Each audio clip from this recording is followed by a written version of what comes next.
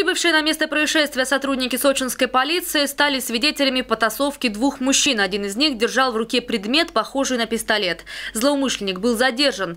Как оказалось, нападавший собрал в пакет ювелирные украшения, выставленные на витрине. Затем потребовал от владельца ломбарда открыть ему сейф с золотом.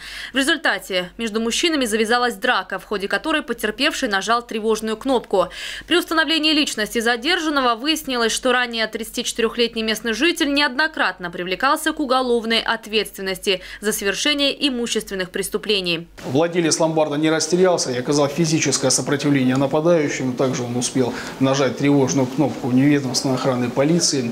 В результате через три минуты подозреваемый был задержан по горячим следам. Известно, что он ранее привлекался к уголовной ответственности, неоднократно имел богатое криминальное прошлое. Также в ходе досмотра у него был изъят травматический револьвер. В настоящее время подозреваемый взят под стражу. По данному факту возбуждено уголовное дело. Санкции предусматривают лишение свободы на срок до 10 лет.